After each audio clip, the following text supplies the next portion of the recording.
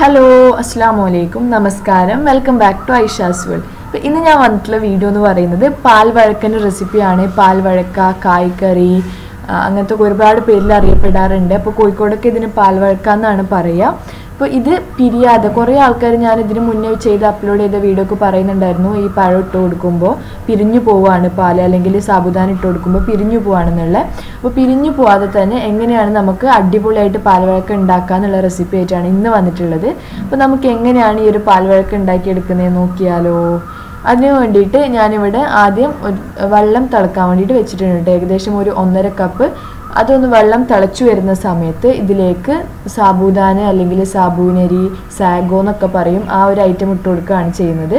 അതൊരു one by third cup അതായത് ഒരു കപ്പിന്റെ മൂന്നിലൊന്നാണ് ചേർത്ത് കൊടുക്കുന്നത് കേട്ടോ അപ്പോൾ ഞാനിവിടെ വലിയ സാബുദാനാണ് എടുത്തിട്ടുള്ളത്. കാരണം മുംബൈയിൽ എനിക്ക് എപ്പോഴും കിട്ടുന്നത് വലിയ സാബുദാനാണ് ചെറിയ സാബുദാനാണെങ്കിലും കുഴപ്പമില്ല.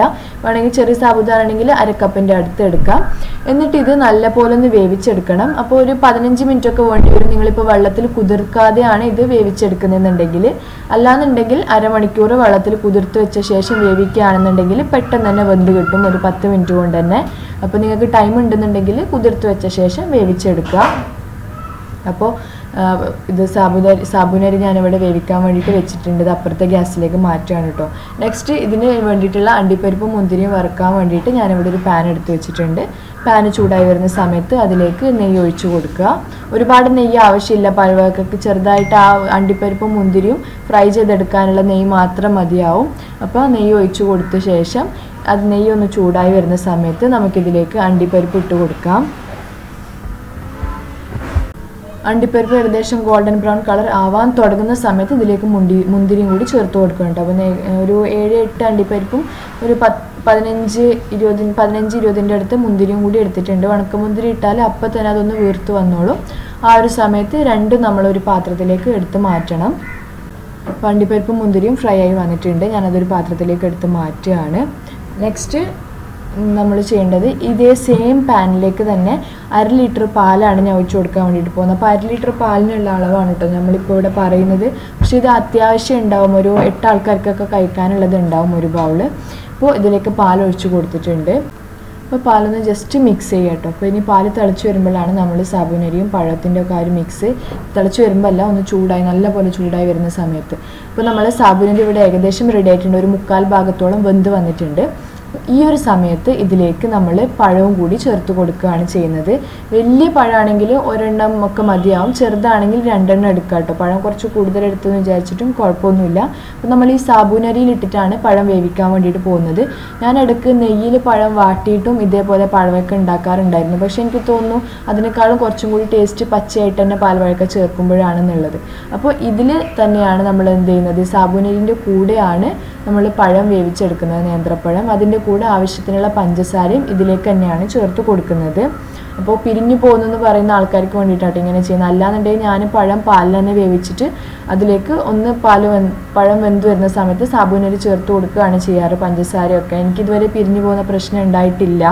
അപ്പോൾ ഇങ്ങനെ പിരിയുന്നുണ്ടെങ്കിൽ നിങ്ങൾ ഇങ്ങനെ ചെയ്യാം. ഇനി ഇതിലേക്ക് പാലിലേക്ക് കുറച്ച് ഏലക്കായ പൊടിയും കൂടി ചേർത്ത് കൊടുത്തിട്ടുണ്ട്. മറ്റ് പഴം ചേർത്ത ശേഷം ഏകദേശം ഒരു അഞ്ച് മിനിറ്റ് വേവിച്ചെടുക്കേണ്ടി വരും. അപ്പോഴത്തേക്ക് നമുക്ക് പഴവും കൂടി വെന്ത് കിട്ടിക്കോളും. എന്നിട്ട് ഈ പാൽ നല്ല ചൂടായി നിൽക്കുന്ന സമയത്ത് ഇതിലേക്ക് എന്ത് ചെയ്യണം? നമ്മൾ ഈ മിക്സ് ചേർത്ത് കൊടുക്കണം. തിളച്ച് നിൽക്കുന്ന സമയത്തല്ല തിളച്ച് നിൽക്കുന്ന സമയത്ത് ചേർക്കുമ്പോഴാണ് പെട്ടെന്ന് പിരിഞ്ഞു പോകാനുള്ള ചാൻസ് അപ്പോൾ നല്ല ചൂടായി തിള വരാൻ നിൽക്കുന്ന ആ ഒരു സമയം ഉണ്ടാവുമല്ലോ ആ ഒരു സമയത്ത് ഈ പഴവും സാബുനരിയും കൂടിയിട്ടുള്ള മിക്സ് നമുക്ക് പാലിലേക്ക് ചേർത്ത് കൊടുക്കാം. എന്നിട്ട് അത് നല്ല പോലെ ഒന്ന് മിക്സ് ചെയ്തെടുക്കുക.